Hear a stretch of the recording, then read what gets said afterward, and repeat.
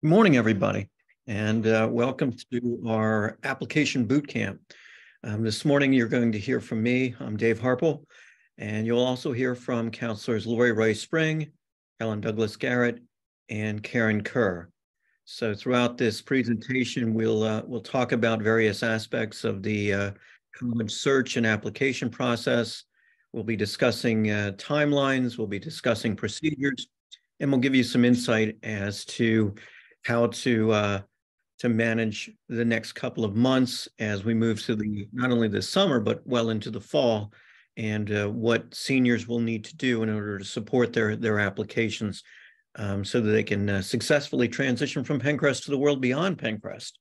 So welcome to everybody, and uh, this uh, presentation is being recorded. After the recording is completed, uh, we hope to have it published to our website very shortly. So thanks to everybody for joining us on this kind of cloudy morning, but we hope we can brighten your day with this information. So let's begin. Um, today, we're going to talk about admissions. We'll give you an overview of that. We'll talk about um, the application instructions, and we'll demonstrate that uh, through Naviance, and we'll talk about Naviance and its interface with uh, Common App and why that uh, those two partner together to uh, to support college applications. Talk about senior timeline, and uh, throughout this process, timeline is vital. Deadlines are meaningful. Um, I can't emphasize that enough um, in adhering to specific timelines and deadlines so that we can ensure the maximum potential for all of our students. We'll also talk about what uh, counselors and what Penncrest sends um, to colleges and universities in support of applications. We will also talk about uh, the Naviance interface with Common App and how Naviance supports applications and the college search process. We'll also go into financial aid, which is a key part of the uh, the uh, college application process, and then uh, we'll wrap up with uh, some questions. So many thanks to all who have joined us, and we hope that you find this information useful. Um, first of all, uh, as parents, we want you to be um, both directors or consultants at times. Uh, you might find yourself prodding your students to be uh, more aware of timelines, or you might be just a listening ear um, to uh, to listen to your students as they share their thoughts and their their ideas as they move through this process. Um, I would encourage you um, to allow students to uh, experience all the all the emotions that come with this process. There is always some uncertainty that comes with it. You're sending your applications off and they're going to be evaluated by people you've never met. There is some natural fear and anxiety that accompanies this process. Um, and it's important to help students recognize that anxiety is part of this, but there are reasonable and well-supported ways to, to support it, including uh, your counselors, your parents, your teachers, um, your Penncrest administrators. We are all here to help you, to walk you through this process so that you can have a successful outcome. Give your students a chance to talk, to feel all of the range of emotions um, throughout this process. That's uh, very key. Um, and, and, we find that this is very helpful in, in helping our students grow through this experience. Some general thinking points. Um, we want to help students find the right fit for colleges. Um, sometimes we get uh, caught up in thinking that uh, the right fit for us is the right fit for our students because I went to a certain school, maybe you should attend my alma mater. Um, we ask that we allow students to find their way, find the college that's a fit for them academically, find a college that's fit for them socially, find a fit that's um, athletically, if they're if they're college athletes, in so many ways, fit is important. Understand the options that are available to students. We know that not all students are interested in going on to a four-year college immediately following high school, and some students are instead uh, pursuing a path of the community college and then transitioning to a four-year college. Some of our students are engaging a, a, a gap year uh, and I like to call that a transition year, a bridge year, where we use that time meaningfully to explore the possibilities um, and understand that, uh, you know, applying to college and choosing a plan at this point in a, in a child's life can be can be stressful and that we can help manage that stress. And there is excitement and there is inspiration that follows all this. The inspiration that comes with uh, exploring a bold future and uh, stepping into a world beyond high school. That's an exciting uh, prospect for all of our students. Um, there are many ways to support this process, and we as counselors are, are, of course, a part of that, but we're not the only part of it. Um, certainly, you can check in with College Board. College Board has a really nice piece called Big Future, and uh, I would encourage uh, parents and students to take a look at the College Board Big Future timeline. Um, we've included a link here, but you can also visit College Board and, uh, and view the College Board's uh, ideas about timeline for, for 12th grade. Very useful tool. Um, at the outset, I talked about timeline and the importance of timeline.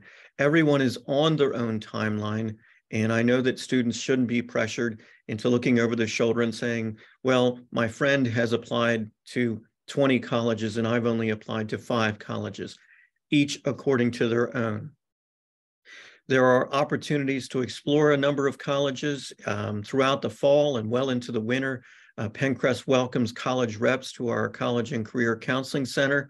Um, this year, we had over 160 different colleges and universities visit with us.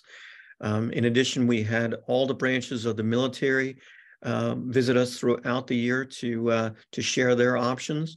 There is also a virtual college fair coming up in, in September, and there's an in-person college fair in October. That's in Philadelphia. That's a rather large one. There is another college fair that will uh, be uh, possible for our students. That will be in the fall. That's at Penn State Brandywine, and I don't have that date yet, but we'll have that shortly. Um, and when that comes out, we'll, we'll publish that. In the future, there will be a senior parent night. That will be the um, generally the first full week of school. And that parent night will feature an overview of the college applications and admissions process, as well as an overview of financial aid and how financial aid works for students. Um, that will include uh, a look at the FAFSA, the free application for student aid. There will be some rather significant changes to the FAFSA this year. Um, the process is said to be simpler, uh, fewer questions, and it should uh, streamline the process for, for all concerned. We also encourage our students to go out and visit college campuses. Getting those boots on the ground and walking through a campus is, is a very good experience. And I remind students that uh, this is an excused absence. We ask that you notify your grade level office in advance. There's a form available on the website. Uh, complete the form, submit it to your grade level office. Um, in this case, it would be Mr. Fuhrer's office for next year for our seniors and pay a visit to a college campus.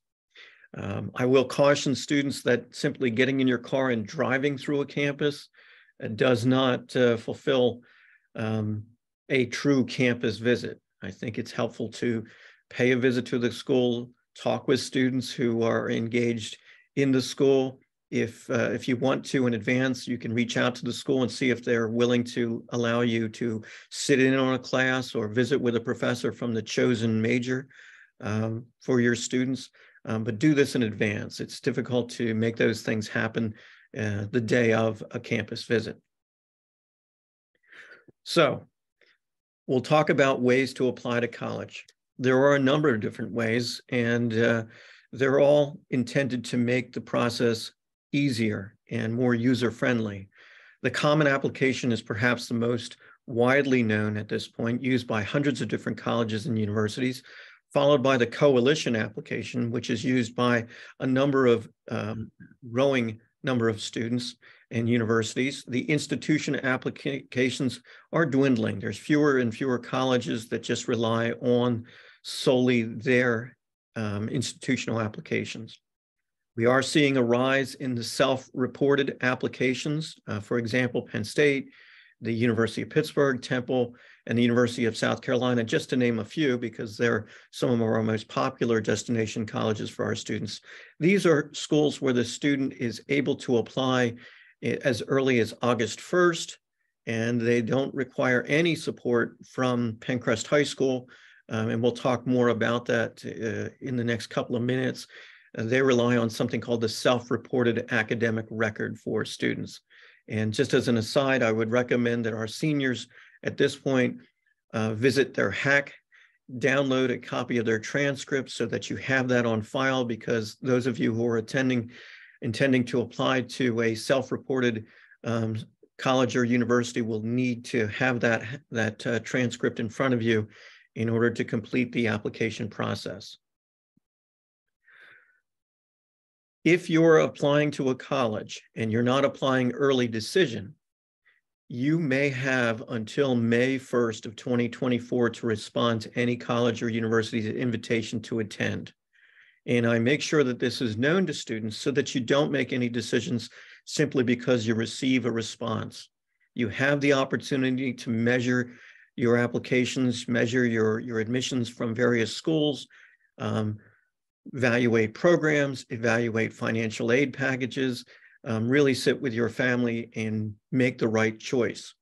The only exception to this is if you apply through an early decision one or early decision two plan, and we'll talk about what those plans mean um, very shortly, but essentially these plans are binding. So you may only apply to one early decision school, and if you're accepted to that school, then you must um, agree to withdraw your applications from all other schools, and we'll talk about why a student would do that. Um, you are only um, expected to make a deposit to one school only. You may not make uh, two deposits at two different schools. That's a, an unethical pro, um, pro, uh, process. Uh, and as a NACAC member, a National Association of College and Admissions Counselors, I'm obligated to tell you that. So please don't do that. Um, be prepared um, colleges will uh, will have a number of different responses to your application. You may be admitted, you may be denied, you may be deferred, you may be waitlisted. Um, they may offer a summer admit or even a January admit.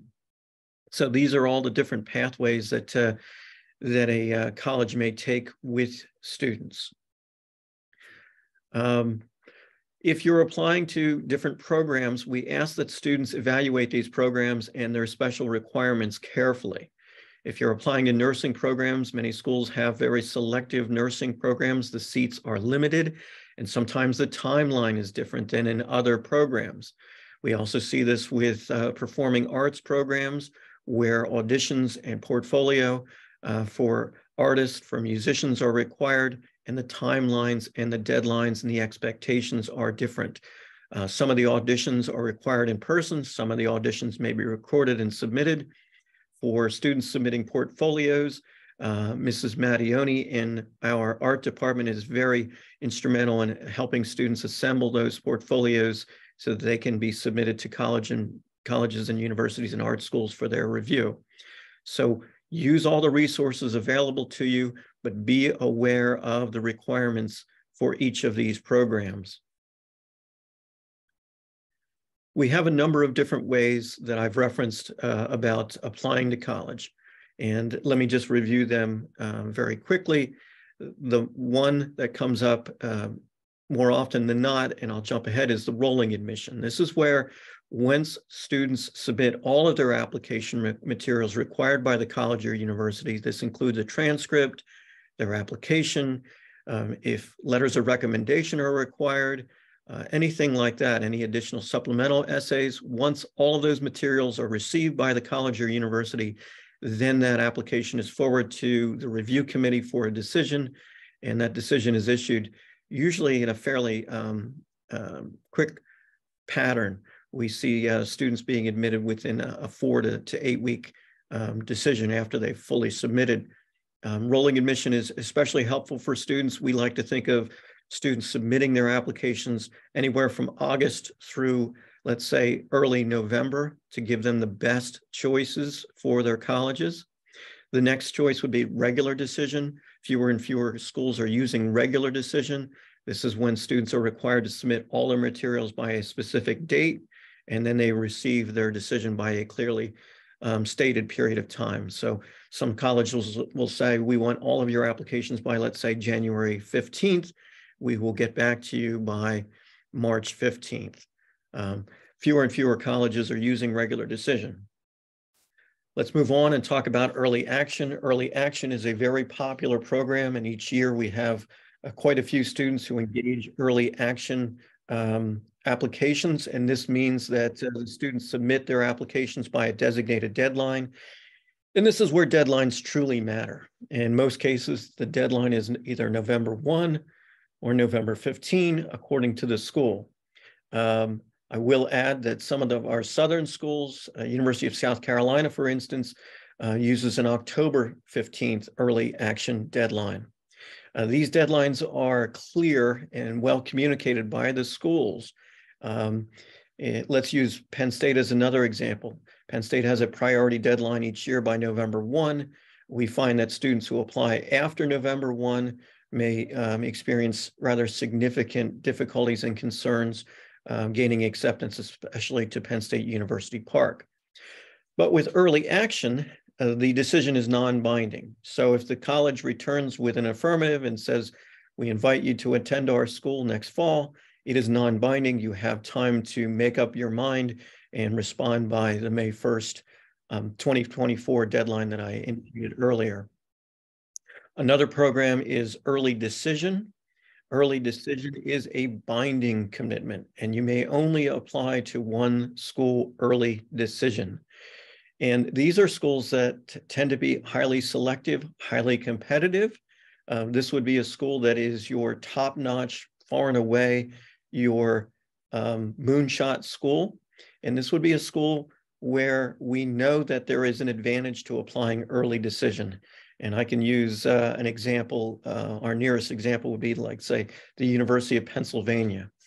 Um, students who apply to the University of Pennsylvania um, have enjoyed maybe a 20 to 22% acceptance rate, depending on the program at Penn, uh, when they apply early decision. When they apply regular decision, those numbers diminish to the single digits. You know, for some of the programs, we see uh, 8 to 6% acceptance rate. So there is an advantage to early decision. There are ways to take a look at the early decision numbers for various schools. Um, and they're out there. Um, not all colleges report them out, but uh, there are ways of, of, finding out that information and we can help you, your counselors can help you with that. There's early decision two. Uh, we have a number of students who take advantage of early decision two. Uh, those deadlines are usually in early January. Um, we find that some students who are not admitted during early decision one might have a college warming up for early decision two, and that follows the same pattern. Submit, and then um, the college can issue a response usually by March or April, and that decision is also binding for early decision two. We can assist you with those um, applications. Talk about if early decision is right for you. Um, early decision is not a, decision to be taken lightly. Um, we, we like to think that you've carefully done your study, that you've researched the, uh, the program at the college of your choice very carefully, and you make sure that that is your chosen college. Make sure that it is a match not only academically, geographically, socially, and make sure that your grades, your admission profile meets or exceeds the GPA requirements for that particular school. Penncrest does not rank students, um, but we do publish a school profile. Uh, Dr. Sweeney uh, puts together the, our profile and she'll develop a distribution of, of, of scores and show um, where students may fall within their class, but we do not rank students. Um, when students apply early decision, parents students and counselors are required to sign an agreement indicating that if the students accepted, they agree to withdraw their applications from all other schools. Um, parents, you need to think carefully about this because there is a financial aid piece here. Um, there is no guarantee of financial aid, um, and that should be understood from the outset with, uh, with colleges and universities where applying early decision. There are advantages. We've talked about the advantages of acceptance patterns. We know that the rate of acceptance during early decision tends to be higher than it is during regular decision. Um, that it gives students a, a leverage and opportunity to look for housing once they're accepted to college. And in some cases, it gives the students a chance to kind of reduce their stress. So they learn the, the response in December if they apply early decision in November. And uh, it, it certainly takes the, the weight off their shoulders for, the remainder of their senior year. If they're not accepted, it gives students a, a chance to um, reassess options and look elsewhere. And as counselors, we work with students to uh, to identify, you know, if you're applying early decision, where else will you apply? Um, it's the just in case model. You always have to think just in case. You know, what happens if I don't get accepted? What are my what are my options? How will I pursue those options? And are those options a viable outlet for me? Um, like I said, we'll uh, we'll share this this um, process out with you, um, and there are distinctive differences between early early action, regular decision rates. Um, we like to see our our students apply early action. We think it get, does give students a distinctive advantage. When you apply early action, the pool of applicants is smaller. We find that applicants are accepted quicker. We find that uh, they're not compared to as many applicants at that point, and it gives them a chance to get into programs before the programs become scarce and seats in those programs become filled, and it becomes more challenging for you to gain access to a chosen college or university. Now we'll go on to uh, how do we apply to college? And I'll let my colleagues jump in on that process. Thanks, uh, Dave. Um, my name is Lori Rice Spring. I'm one of the school counselors here at Penncrest. Um, so what I'm going to talk a little bit about today is the interface and what uh, Naviance has to do with college applications. So your students have worked on Naviance since middle school. Um, and um, they've used this as a research tool, as a way to um, investigate career options, um, intended majors, pathways, uh, so they're very familiar with the layout and the interface with Naviance, and nothing really has changed. All of them will have uh, have met with their uh, school counselor this year in their junior planning meeting. And in that junior planning meeting, one of the important things that we did was either review a college search that they conducted or conduct a college search through the meeting.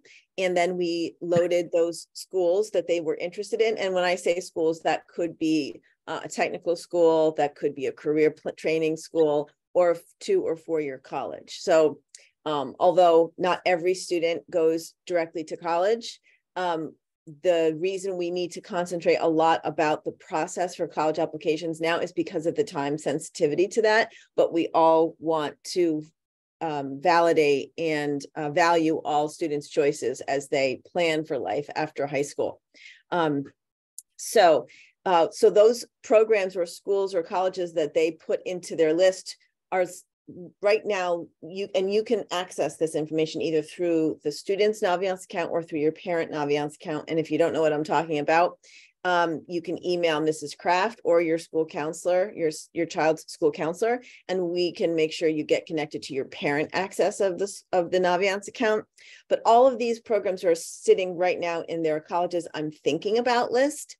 And come September, we'll turn on permission for those to be to, for this final list of schools that they may be applying to to be shifted over to the colleges I'm applying to list. And that has to happen because we submit documents electronically to these colleges. So the school profile, the college trans, the high school transcript, which Ms. Kerr will go over in a few minutes, grade reports, first, second, third marking period grades sometimes, um, all the forms that either the coalition app or the common app requires that counselors and teachers fill out all of that has to be done electronically. So all of those schools that students intend to apply to will be shifted over. It's very simple. It's a click of a button. Uh, we'll go over that. Um, mr harple can you please go, thank you. So this is where a student will be landing when they go onto their Naviance account and you can see that there's colleges I'm thinking about and colleges I'm applying to. It's a very simple process. Um, we will be meeting with all seniors in a large group probably the first IE of the school year, which is the second full week of school. And in that, we all are there and we all go through step by step procedures. We give handouts, we show students all of the resources available in their Schoology course, which you also have access to. The Schoology course is really the direct line for all the information that students will need we have tutorial videos, we have step-by-step slideshows for instructions to do anything that's required for the college application process. Once the Schoology courses roll over in September, we will activate the, that course, just like a student has Schoology courses for all of their academic courses, they are all placed in a Schoology course for counseling by grade. Within that course, there is a ton of information. Um, so that will be very, really, very helpful. But we will sit with the kids, um, the students in that assembly, and we'll go through all of these steps. And Mr. Harple just changed this slide to show where you would go into the colleges I'm thinking about list, where their programs might be sitting right now. And literally, it's indicate which college you are going to apply to by clicking the button to the left, and you'll move the application list with a click of a button, and those will be shifted over to the colleges I'm applying to. Next slide. And um, go ahead and do next slide. And then once that happens, they can also add new colleges to their list. Um, and then another important piece is um, something that counselors, we, we help students a lot throughout the year is details. So there are a lot of details involved in college applications, and it's very easy when you're nervous or you're rushed and you're just not used to this level of detail to miss things. And so we we will absolutely gently remind them when we can't do something on our end it's probably because they haven't finalized something that they need. And this is a perfect example of that what one of the steps and this is nothing that this is all stuff that's going to be easy for them to see but it's just an important reminder there are questions they have to answer for example um, how will i be applying to school if you see on the screen some of the schools just to confuse us just to keep us on our toes will let us choose different types of applications so for example many many schools use the common application but just to make things interesting, some of them will also let you apply to their own institutional app. Two big examples of this are Penn State and Temple. Um, so they each have their own application. And so in this screen right here, the student needs to tell us which vehicle of application they're using. Are they using the Common App for that school? Or are they using the institutional app for that school? And the reason is because we have different forms to fill out and the interface with the Common App is different. Um, so that's just an, one important step. Then at the bottom, they would add in request transcripts because that is an indicator that we need to send a transcript to the school. There will be additional documentation and a paper, so you should expect to see a form that you actually have to sign.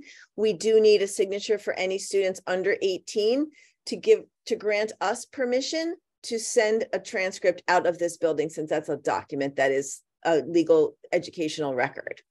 Um, and adding a little something here, also something new for next year is we will be adding an additional statement on our transcript release form, which gives us permission, um, which you which you would grant permission for us to release documentation to the National Student Registry and the National Student Clearinghouse, which just helps us to track our alumni progress as they go through their um, post-secondary education. Um, next screen, please, Mr. Harple.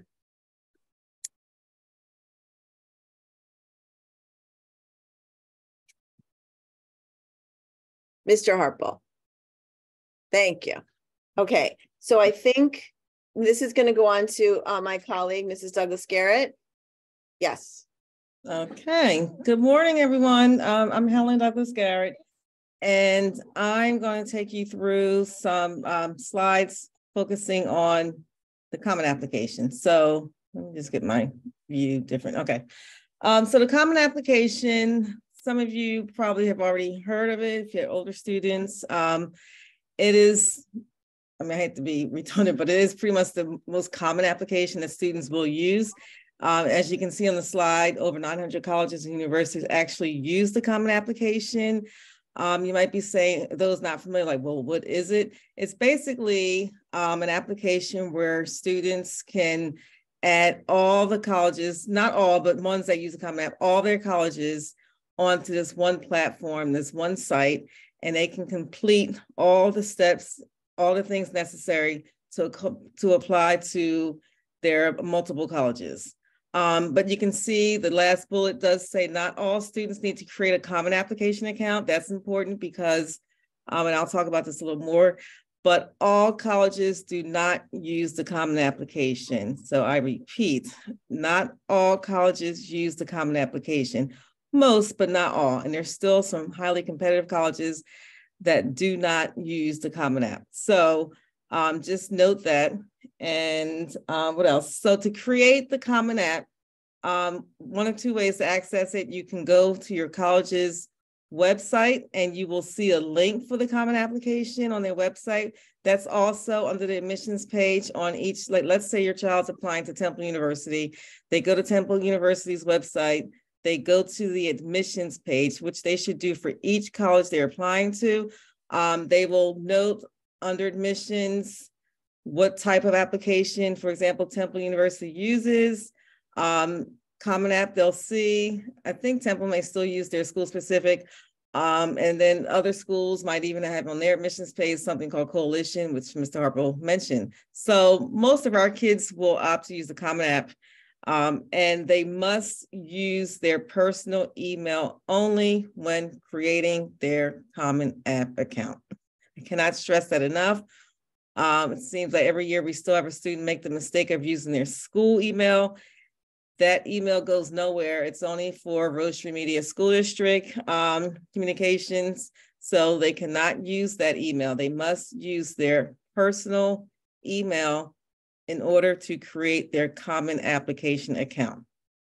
Okay, so as far as the common app, some different areas and sections the student will see. Um, the first section is basically their personal demographic information, name, address, date of birth, so on. Um, they'll have an education section. They'll also have um, the section where they will begin adding their colleges. Um, there will be another slide, which I'll go into more detail about that. But um, basically, they want to make sure they are careful. Um, like Mrs. Rice mentioned earlier, it is a very tedious process, but they want to take the time to go through and respond to the questions thoroughly and accurately. And the fourth bullet, the FERPA, that's the Federal Educational Rights and Privacy Act. And that's similar to your HIPAA, um, where your medical records are private. So this is where their educational records are private. So students will also have to complete what's called a FERPA waiver. And um, the question posed is why should I waive my rights? Well, basically, when students are asking for recommendations, whether from a teacher or their school counselor, if, necessary for that college, um, colleges expect that the recommenders were able to write a very candid assessment of that particular student. So, and they feel that, you know, we may not be able to do that if a student is going to be reading their letters of recommendation. So it's always recommended that students do indeed waive their rights to view their recommendations. Okay, next slide, Mr. Harple, please. So this is what you'll see when you log in successfully and create your Common App account. Um, you'll have all these different tabs on here. This student already has added Lehigh University to her particular Common Application platform. And um, you'll have a Common App tab the Common App tab is where you'll answer all any and all questions like that demographic, that educational section. And that, that information under the Common App tab will go to all the colleges, every single college that is listed under your My Colleges tab. So in this case, Lehigh University, you can also see the different sections that the student will have, to, that you, the student will have to respond to under Lehigh University. Um, and then in the body of this, you can see all the contact information for Lehigh University, the application deadlines. Um, typically, you'll see in here with how many, if you need a teacher letter, how many teacher letters, if a counselor is required, you'll see all that information in the body when you open up your tab for the particular college. Um, keep in mind though, I always tell students, don't just only rely on this information in Common App, Again, as I mentioned earlier, you want to spend time on Lehigh University's admissions page to get more specific detail about all the different requirements to make the application complete.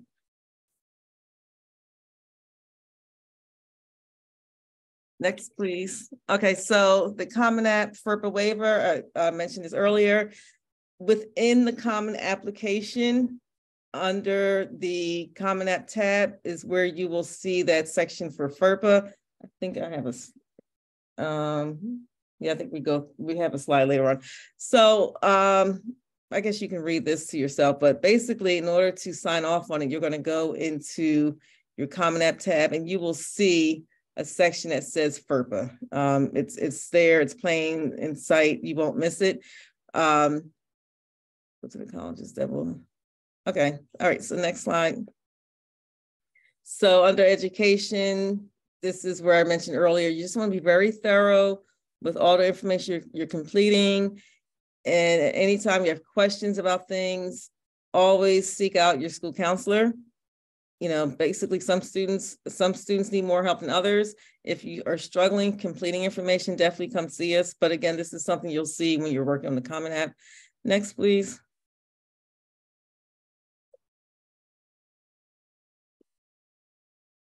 Okay, so as I mentioned before, you will be adding any colleges that you're applying to that use the common application. You will have to add them one by one into your My Colleges on your common application. So you go in here and you search the name, you type the school name in, and you just have to be very careful. It sounds like a very easy task, but you just want to make sure once you search for the name that that is the exact college that you want.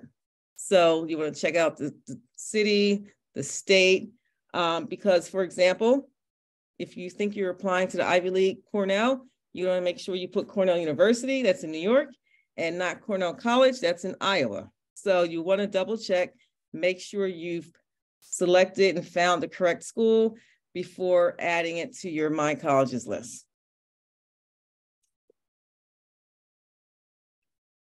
Okay, so again, you can see under this particular college, Mount Holyoke, you can see the questions for that particular college. Once you click into that section, questions, all the different questions will be in the body. And same for the FERPA, recommended in FERPA section. You click on that tab when you're ready to get to that, and all the information will be in the center body of the particular tab, and you will go through all the steps to answer the questions required to complete the FERPA. Uh, once you're done each section, so once you're you've completed all the questions for that particular Mount Holyoke College, um, a green check mark will appear. Same for the FERPA. Once you've successfully responded to all the necessary questions, again, you'll see green check marks. So that way to help gauge, you know, to make sure you did not leave something unanswered. Next, please. Okay, so this is the FERPA release section. And I mean, it's very self-explanatory. So you just want to read through everything carefully because you do want to understand what you're signing off on as far as the FERPA release.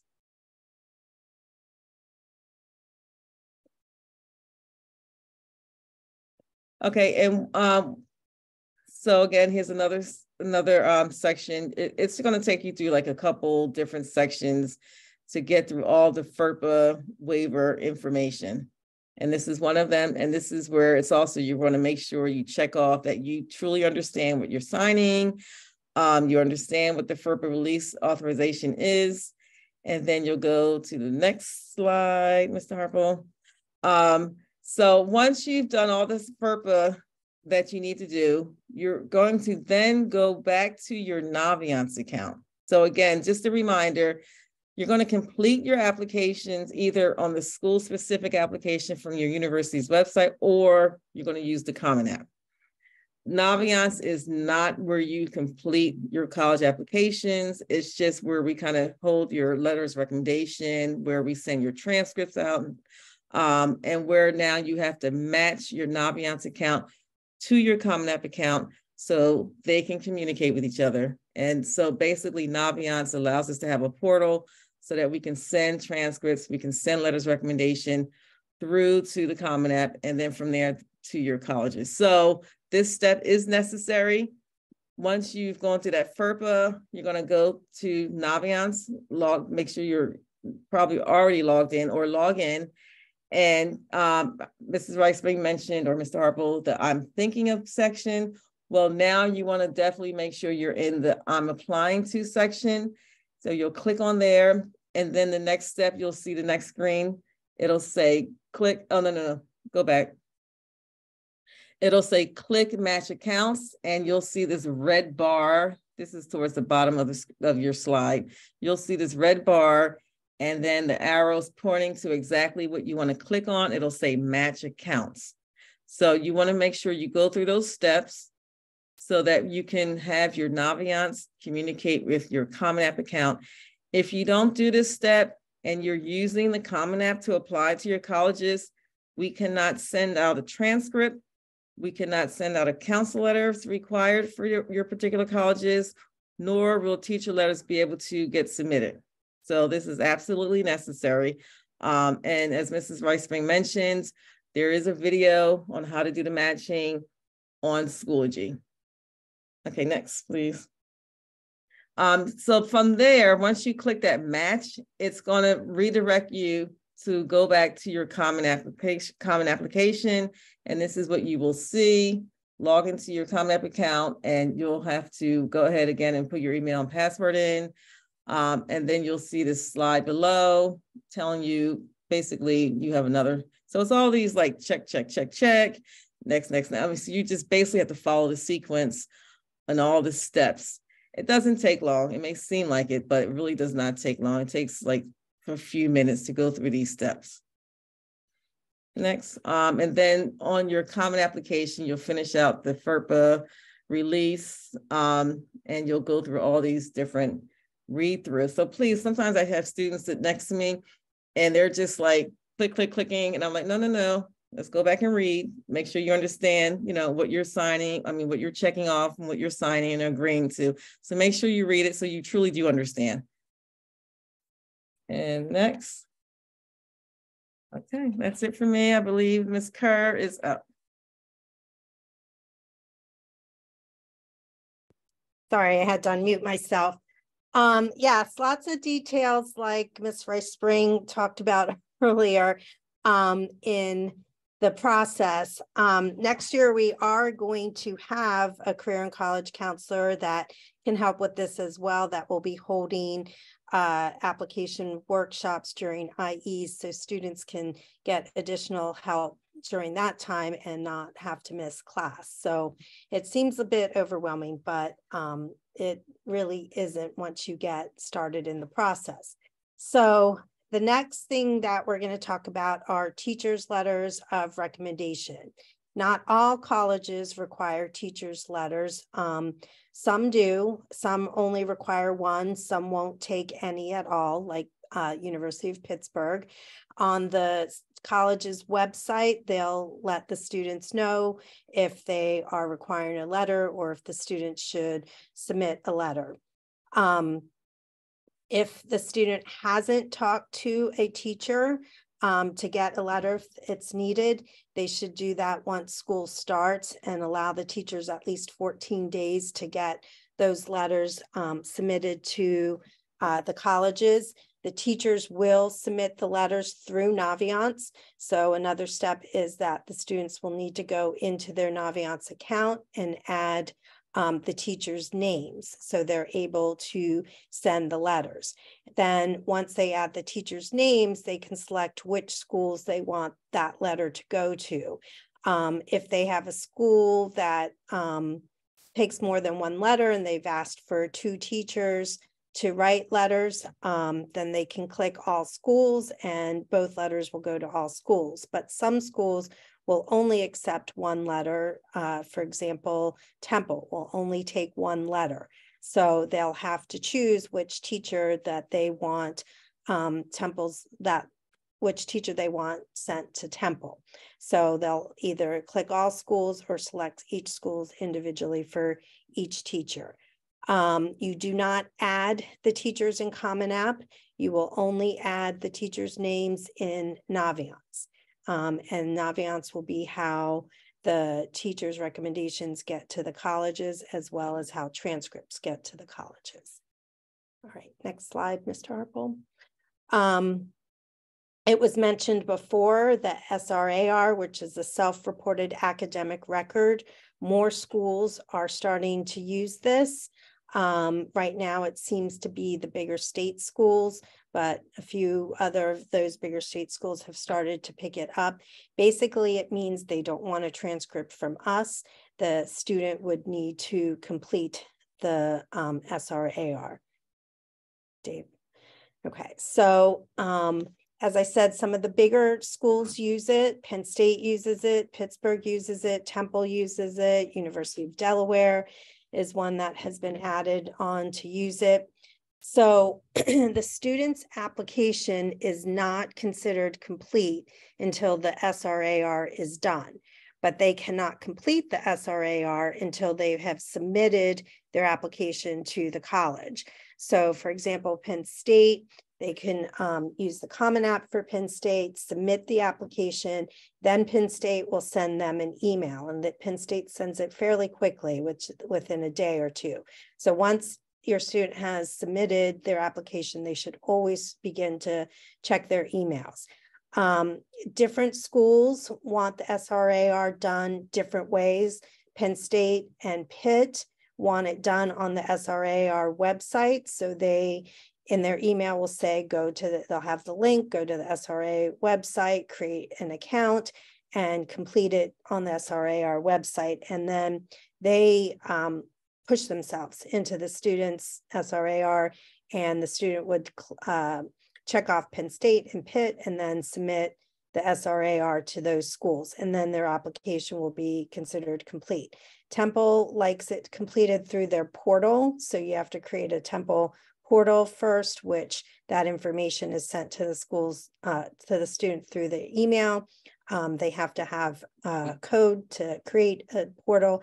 And once in the portal, they complete their SRAR. So it's important to check the school's website, see if they want the SRAR. And then once the application is submitted, that they check their emails to see how that SRAR should be completed for that school. Okay, Dave. All right, so timeline.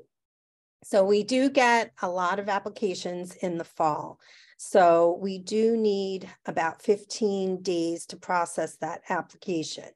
Um, we need to do work in Naviance. Sometimes we need to write a letter of recommendation. Not all schools want a letter from the counselor, but um, if the school does, we need to get that done.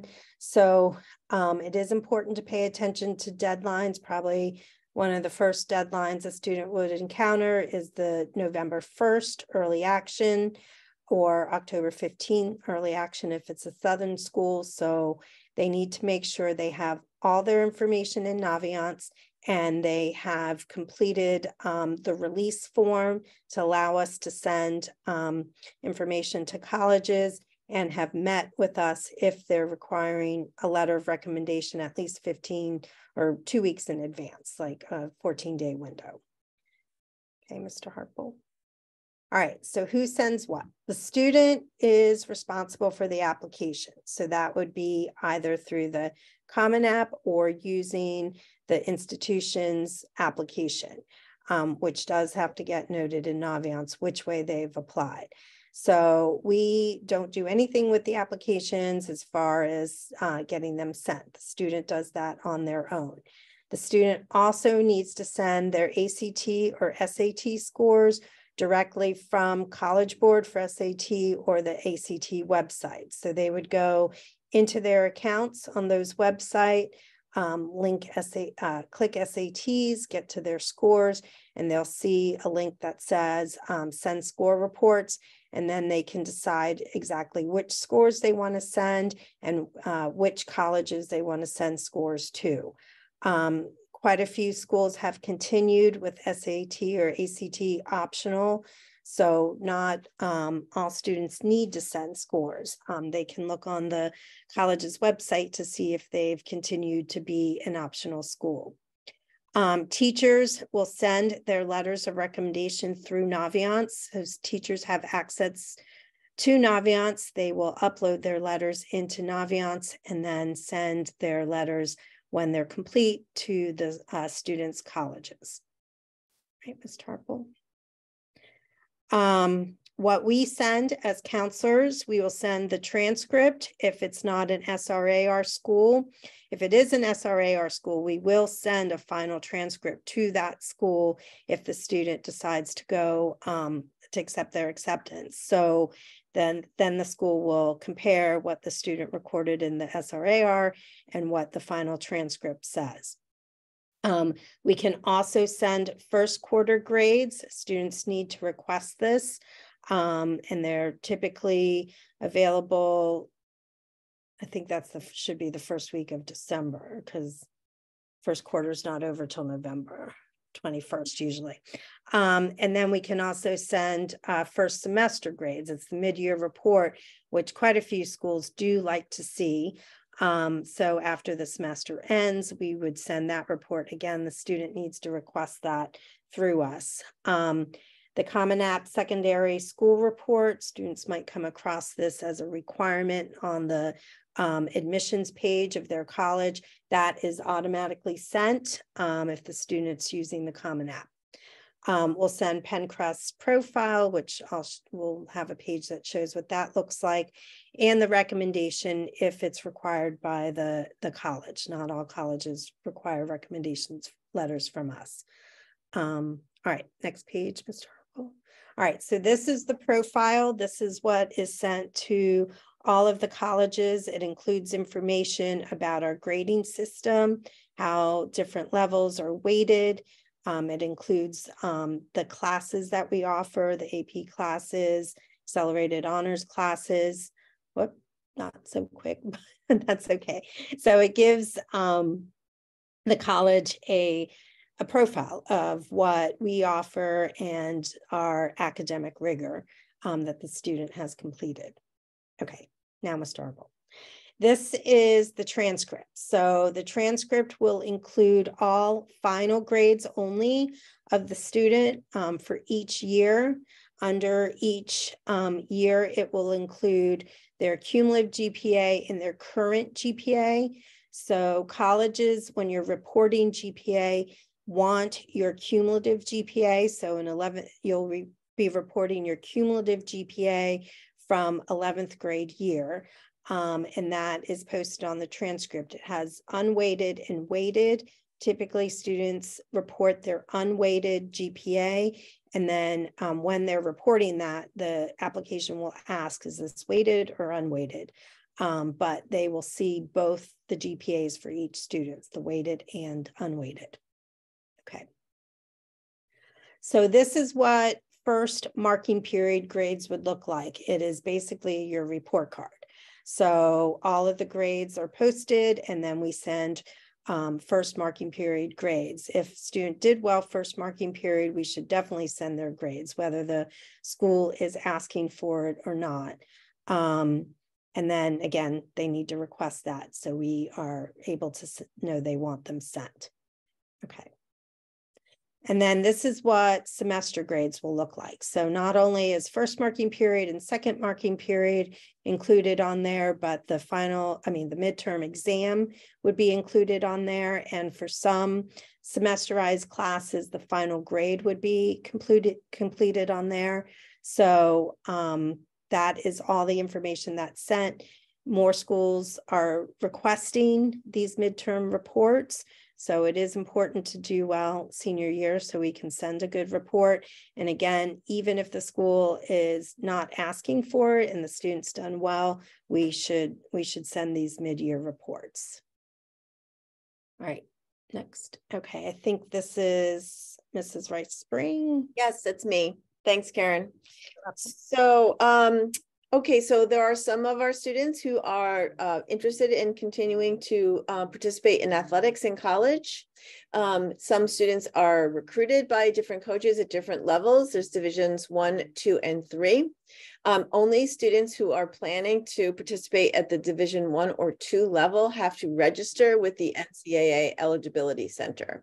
Um, there is a ton of information that is easy to find by Googling, but there's also a whole folder in our courses on Schoology, which are inactive right now because you know everything's sort of quiet on the Schoology front. But once those are activated again in uh, late August, early September, we'll have an entire folder with step-by-step instructions and video tutorials on what a student must do um, in order to register with the NCAA Eligibility Center. Um, next slide, please. So um, students can really register anytime. Um, I have soft, we have sophomores that are registered. Um, at the end of every year, um, it's our job to send uh, final transcripts to NCAA um, for them to double check and um, recalculate grade point average based on the core courses only and uh, make sure that students are taking courses that fit the guidelines. Um, all of our students, uh, core courses for NCAA are all our four core primary courses of English, social studies, math, science, and world language. So NCAA requires 16 core courses. Um, and they recalculate a student's GPA. So if a student has a bunch of really solid, you know, high grades in their um, elective courses like band or art or technology, um, that could inflate their overall grade point average. So just keep in mind that a student who has a GPA here uh, at this school does not not necessarily mean that it's going to be the same uh, GPA that the NCAA calculates because, of, of course, they have to take out everything but the core courses. There are some really, really wonderful worksheets that are accessed. They're easy to find just by doing an internet search, but we'll also have them uh, contained in our course on Schoology. Um, where there's actually a fillable PDF that will, instead of, uh, I used to have to hand calculate these GPAs and courses. Now it's all calculated when you complete the coursework on the um, worksheet. So it's really helpful. So if your, your student is considering an athletic career in college and you're not sure what they need to do, have them make an appointment uh, with their school counselor and we can walk them through the process. We can share links home to you and to your student with the links for these worksheets, which are really useful, um, sort of walk the student through the timeline. Every sport has its own sort of blackout dates and active dates and who can talk to what coach, what time. Um, and that's all spelled out really easily on the website. So that's really useful information. Next slide, please. Um, right, so there are there's a link here and um, all of this information is going to be accessed through this PowerPoint, but also again, once the course opens up again, up again in Schoology, you'll be able to access all of this information. And now I'm going to turn it back over to Mr. Harple.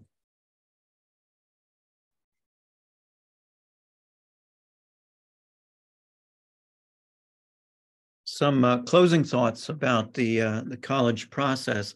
We've emphasized the importance of uh, timeline and deadlines. We've also emphasized the importance of utilizing your resources. Use your counselors, use your teachers, use your administrators, use your parents. And Mrs. Uh, Ms. Kerr referenced that uh, beginning in the fall, we will have a uh, full-time college and career counselor on board with us. Um, so that will be an additional resource for our seniors um, to use throughout this process. That person will be uh, helping to schedule our college rep visits. That person will be working with students on their college applications.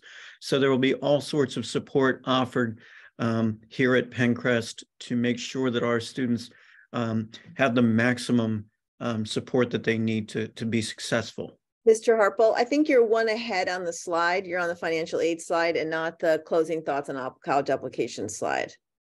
Yeah, for some reason I can't go back. Okay, There it is. there it is. There it is. It was stuck. Um, so we've talked about uh, the application process, and I will mention this. This piece comes up every year um, where students submit their Common App piece, or they wait until they they say, well, I'm waiting for um, my teacher to submit their letter of recommendation, or I'm waiting for my counselor to submit their piece. Um, I will say this, all of these pieces, the student application piece, the letters of recommendation, all of these pieces travel separately. So students, go ahead and do your part and count on your counselors and everybody else to do their part. All of the pieces will assemble at the college and university's website. They'll create an electronic file for you, but do not wait. Go ahead and submit. Do not wait for your counselor or for your teacher to submit their materials. All those will, will reach their designated point at the right time. Can't emphasize enough uh, communication. Notify us when you submit an application, even if it's a self-reported application, so that we can uh, be aware of it and support you through that.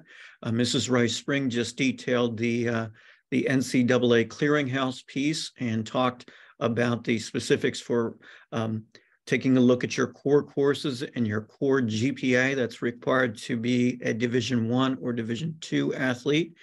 Understand your deadlines, especially for um, schools like Penn State, um, Pittsburgh, all these schools that have designated deadlines. I can't emphasize that enough. We also remind students to check your email. Check your school email from messages from Penncrest High School, from your counselors, and your personal email from messages from colleges. So often students miss messages from their colleges, and then the colleges reach out directly to us, and then we have to go back to the students. So that prolongs the process and may uh, may help the uh, the student along the way if if they just take a look at your um, your email. And I know I hear from students all the time that, oh, I don't check my email. Colleges will communicate through your email. So please make it a point to, to check your personal email, check your school email on a routine basis. Financial aid night. Um, in the uh, future, we'll have a senior parent night. I mentioned that at the outset of this presentation. And in that senior parent night, uh, Mrs. Rice Spring will talk about uh, the details for processing your application, the procedures that will support your, your application, and we'll also have a financial aid piece where we talk about applying for the FAFSA, the free application for federal student aid. That's one component that is very um, important to the financial aid process. It will enable your colleges and universities to determine the, the amount and type of financial aid they can offer whether it be scholarships, grants and aid, work study, what have you. But the, FAFSA is absolutely critical. Um, one point that I'll mention about the FAFSA, sometimes parents will say, um, our family earns far too much to be considered for financial aid. Uh, therefore, we will not complete the FAFSA. Um, what happens at many colleges and universities, if the uh, if the family does not complete the FAFSA, then the college and university will be hesitant to dip into their own pockets to offer financial aid. Uh, the FAFSA only takes a few minutes to complete. It's uh, uh not a labor intensive form. Um, so I would recommend that, that all parents uh, consider completing that uh, FAFSA. Col um, private colleges and universities will also use another financial aid tool. And parents, as your students are looking at the students' uh, admissions page, an applications page, parents, you should be looking at the financial aid page and understanding what your responsibilities are for um, completing the uh, financial aid requirements for any college or university. This is absolutely critical. Uh, deadlines are specific and they are enforced by these schools. All colleges are required to have a net price calculator um, to help families better understand their financial obligations for each college and universities. Uh, sometimes we, we focus merely on tuition. and we neglect to understand the other components of sending a, st a student to college, uh, the cost for room and board, the co cost for various fees uh, to support a student in their first year, especially of college. So parents, take a look at these, um, these points and use that net price calculator when making your decisions about uh, colleges and their admissions. You may go into Naviance, and Naviance also has a cost and aid component in it.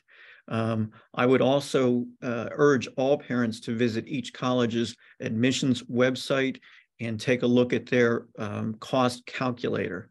It is a tool that's now required under federal law, and uh, I find it very useful to help students as students become more aware of their financial obligations as they move through college. As we know, student loan debt outweighs all debt in this country, including home mortgage debt, it, uh, well, it's credit debt, um, it is a leading cause of concern for our students. So we want our students to be financially aware of their decisions and uh, the uh, the points that they need to think about as they move forward into their uh, world beyond Penncrest. Talk about the FAFSA, and uh, we'll go over the FAFSA more at, at our financial aid night, but students and parents will need to create an FSA ID. The FSA ID is a PIN number that will serve as the students and the parents' electronic signature for uh, the FAFSA as they move through all years of college. So once you create it once, that will be your FSA ID for all of your years in college as you access federal aid. Um, the FAFSA website is very useful. I recommend that students and parents take a look at the FAFSA. This is fafsa.gov. Um, Make sure you access FAFSA.gov. When you query FAFSA, you may come across FAFSA.com. Keep in mind that FAFSA stands for Free Application for Federal Student Aid. No student or parent should be required to pay any fee to access FAFSA.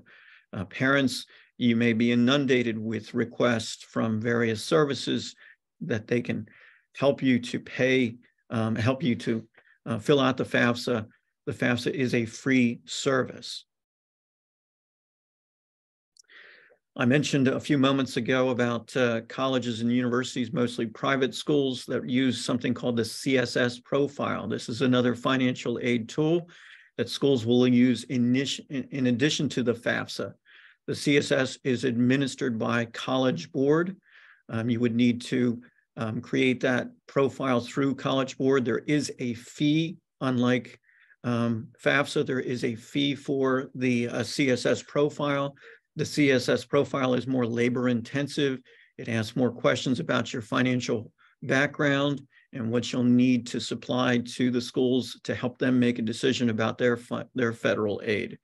Um, it is absolutely vital, parents, to keep an eye on this, especially if your students are applying to a private school. Many private schools will use this tool, and many private schools have very distinct enforceable deadlines for parents to complete these, these documents. Finally, um, you need to prioritize your, your needs and your goals throughout this process. There will be different priorities at different points. There will be different needs at different points. Sometimes the need is just to hear, be heard. Sometimes the need is just to offer support and understanding and understand your goals for, for this process.